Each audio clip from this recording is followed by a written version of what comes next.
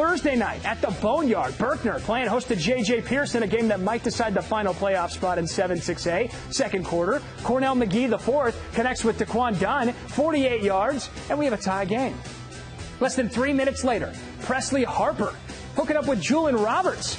That gives JJP a 14-13 lead. The team's traded touchdowns, so Pearce led 21-14 when they make the mistake of kicking off to Jamary Williams, and he uses a block to turn the corner, and now he's rolling, and now he goes 92 yards for the kickoff return. We were tied at 21 at the half. Pearce did not score again until they needed to.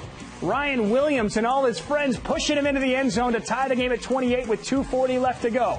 Clock ticking now, under 50 seconds left for Berkner, and McGee finds a wide open DeMarcus Calhoun, and that's your ball game. Berkner wins a thriller 35 28 the final.